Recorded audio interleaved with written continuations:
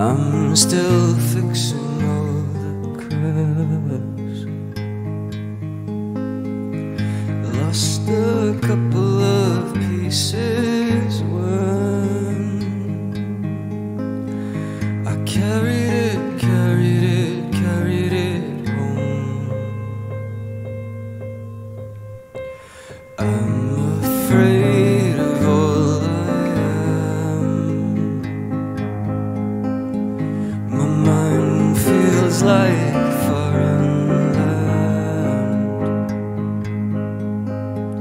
Silence ringing inside my head.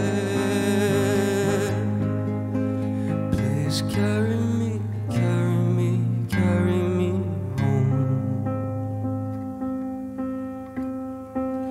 I spent all of the love I saved.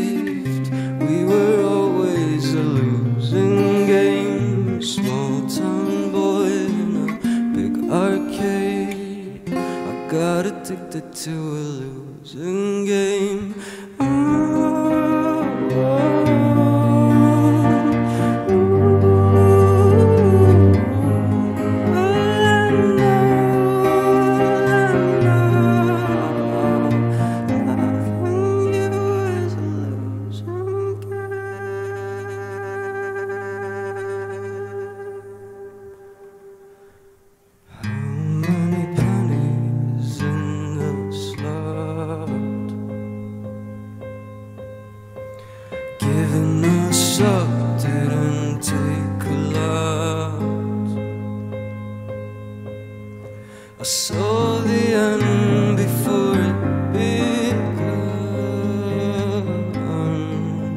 Still I carry carry.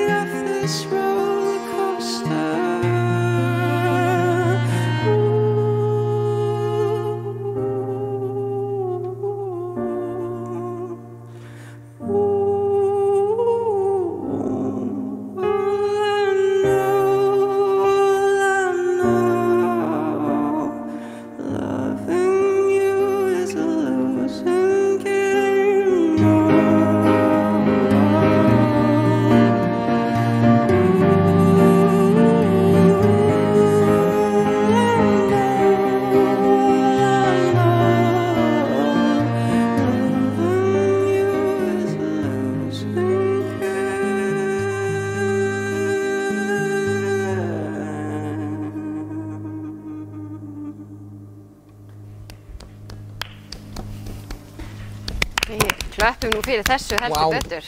Kæra þakkir, Clemens, Borgar, Unnur. Æðislegt. Þetta var geggjað. Arcade Uh, já, Arcade Já. um spilafíkil. um spilafíkil. Já. Við horfðum á brot úr heimildamyndin um hataræðina rétt áðan. Hvernig var þessi tími? Var þetta ekki taugatrekkjandi á köflum? Uh, jú, heldur betur. Þetta var nú bæði mikil gleði en hérna, en tók, tók á andlega, myndi ég segja. Og, og voruð þið bara í einhver tíma að jafna ykkur eftir þetta?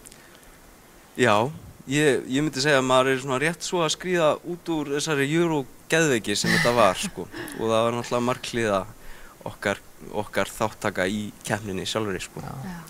En það eru greinlega spennandi tímar framöndan hjá Hatara, en bara svona hjá þér sjálfum. Náttúrulega æðislegt fyrir okkur íslensku þjóðin að sjá þig hérna standandi með gítar í, já svona eðlilegum klæðinaði með að við hvernig við erum vön að sjá þig. Hvað er framöndan hjá þér? Þetta er að vísu, mér fannst svo sem skemmtilegt að gera þetta út að þetta var, fólk kannski bjóst ekki við þessu sko, en hérna maður er, bæði að vinna að hataradóti en svo líka uh, sólóverkefni og það er svo sem ekkert líkt þessari útsetningu nýja hatara, þetta er bara svona dystopíst, nýjalýst um, tilfinningapopp sko. Já.